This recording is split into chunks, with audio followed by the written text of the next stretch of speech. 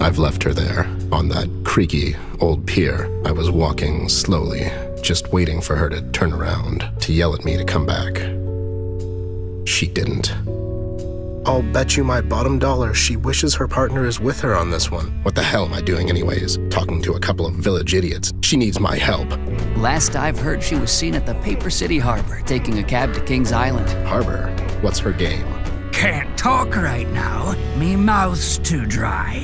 How about I hold your head underwater for a bit? You're, you're threatening to drown a shark. Whoa, whoa, whoa there, buddy.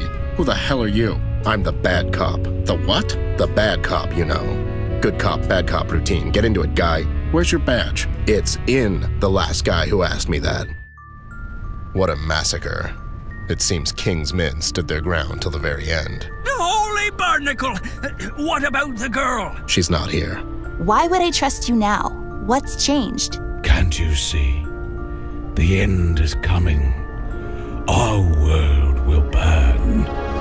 No way around it.